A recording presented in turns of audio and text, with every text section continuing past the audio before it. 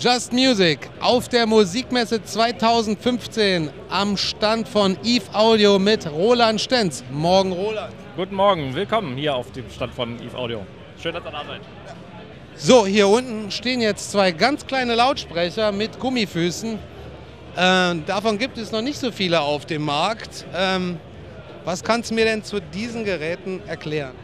Ja, also die Idee war tatsächlich, ähm, einen schmalen Lautsprecher oder einen kleinen Lautsprecher auf den Markt zu bringen. Ähm, wir haben uns hier für ein Master-Slave-Prinzip entschieden, was dann erlaubt, dass wir einen USB-Eingang drin haben, optischen Eingang und eben ähm, auch einen Subwoofer-Ausgang. Also da kommen wir vielleicht später noch, da drehe ich den Lautsprecher mal. Was wir hier haben, ist äh, ein 3 Zoll Tieftöner, einen neu entwickelten Air-Motion-Transformer, den nennen wir Micro-AMT.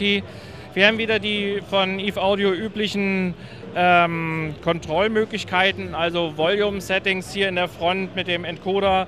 Ähm, einschalten, ausschalten, ähm, die ganzen Filter-Settings und weil wir jetzt hier ein Master-Slave-Prinzip haben, können wir auch äh, Balance unterbringen. Also man kann zwischen rechts und links eben die Balance äh, ändern. Das fanden wir ganz sinnvoll bei so einem kleinen äh, Lautsprecher. Gemeint ist der ähm, für Desktop-Anwendungen, aber mit dem orangefarbenen, ähm, wir nennen es äh, FlexiPad, ist es möglich, das sieht man hier oben, ähm, verschiedene Aufstellmöglichkeiten ähm, zu haben. Also man kann die Front vertikal oder 7,5 Grad nach hinten oder 15 Grad nach hinten neigen und damit ähm, kann man es eben von Desktop-Application bis hin zu ähm, normalen auf dem Mikrofonständer geschraubte Application ähm, benutzen. Wir haben auch eine Mounting-Solution ähm, dafür, sodass wir das eben einfach auf dem äh, Mikrofonständer aufschauen können. Auf dem Mikrofonständer, richtig, ja? ja?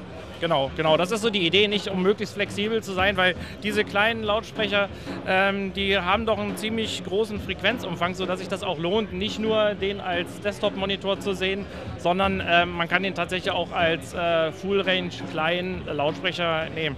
Wir haben hier ähm, auf der Rückseite eine Passivmembran und diese Passivmembran erlaubt eine wesentlich tiefere Abstimmfrequenz und wir sind hier bei einer ähm, unteren Grenzfrequenz minus 3 dB von 62 Hertz.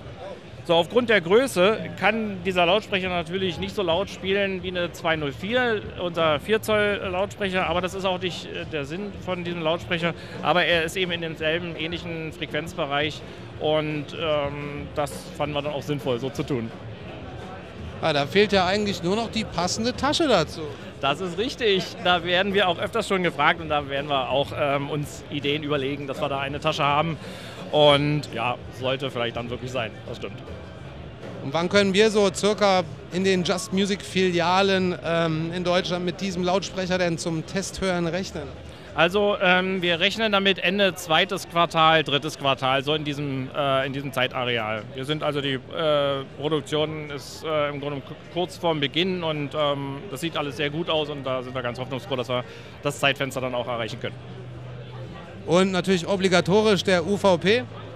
Ähm, der UVP, es kommt als Master Slave Set, das ist also ähm, wichtig. Sind also in einer Verpackungseinheit eben wirklich der Master und der Slave drin und der UVP, der wird bei 600 Euro liegen. Als Paar dann? Ja. Alles klar. Roland, hat mich sehr gefreut. Ne? Bis dann. Danke. Auch. Vielen Dank.